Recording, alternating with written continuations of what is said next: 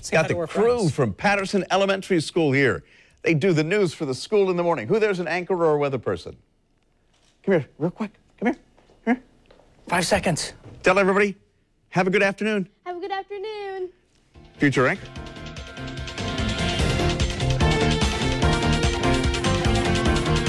At News 4 Jax, we're always covering the news, even when we're not on TV. Stay informed, on the go, and online at news4jax.com.